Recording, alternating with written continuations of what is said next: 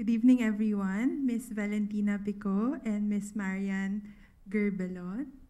Um, Doc Timmy Jimenez, President of PIDSP, former Secretary of Health and Dean, um, Sir Manuel Dayrit, um, Doctor and former Dean also, Ma'am Nina Gloriani, Head of our Vaccine Expert Panel, Dr. Lulu Bravo, former Chair of our National Adverse Event Form, um, Following Immunization Committee, Dr. Melvin Sanicas, Global Vaccine Expert, Dr. Nancy, Dr. Mary, Dr. Angela of the Scientific Committee, um, DOH and colleagues in public service, distinguished guests, um, good evening everyone. First of all, allow me to extend our sincerest gratitude to the Mérieux Foundation and PIDSP for organizing this gathering of hearts and minds, as was mentioned. This, we think, is a timely regroup to celebrate the milestones that we've achieved during COVID-19, but also to reassess how we should move forward, particularly with routine immunization. Second, let me especially thank PIDSP and each and every one of you here whose help made the impossible possible in the last two years.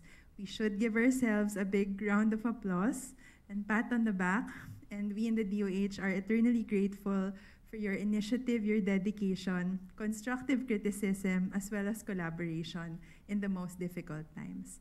The last two years have seen us with highs and lows of immunization.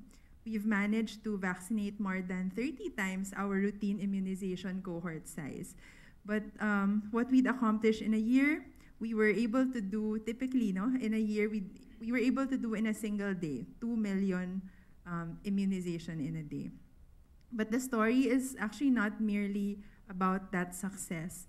The contrasts are very stark and evident in, for example, um, how good our 12 to 17 COVID-19 vaccine coverage versus still struggling 5 to 11 um, COVID-19 vaccine coverage.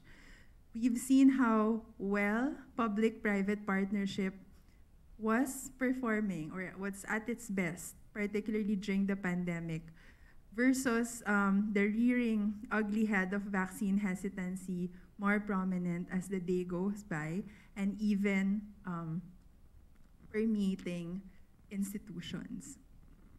But our sectoral direction has never been clearer beyond um, typical agenda of um, the health, health department of prioritizing hospitals and specialty services, we are clear that we now um, want to prioritize health literacy among Filipinos.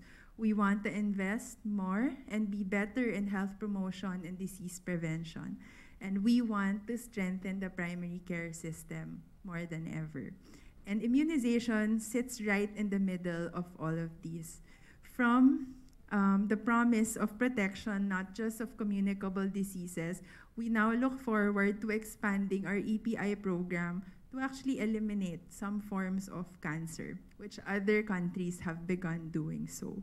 But in the face of growing hesitancy, even amongst our ranks, amongst health professionals as well, we commit to continue the technical safeguards that we have been able to set up with your participation from our living clinical practice guidelines, um, HTA, the NAFIC processes, as well as upholding, continue to uphold the ethical standards.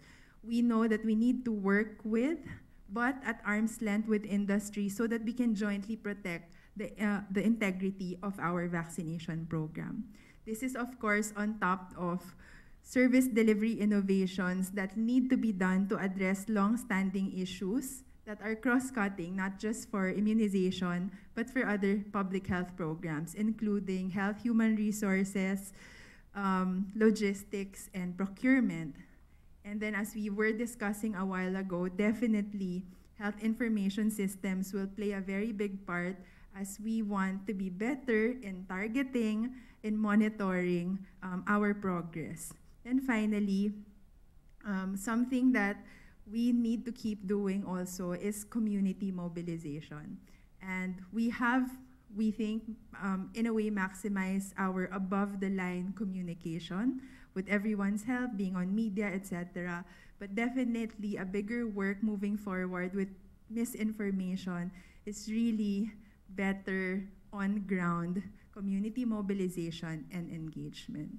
And for that, we will need our um, health professional organizations as well as civil society organizations on board.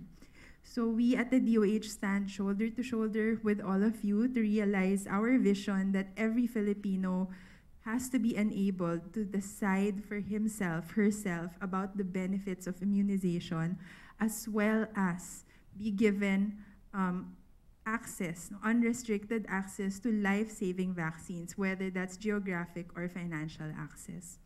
May the formal and informal discussions that will happen from today until Friday give birth to better and bolder ideas on how we can collectively do things moving forward. Maraming maraming salamat po and we hope to hear and continue to work with all of you. Salamat and let's all work together towards a healthy Pilipinas.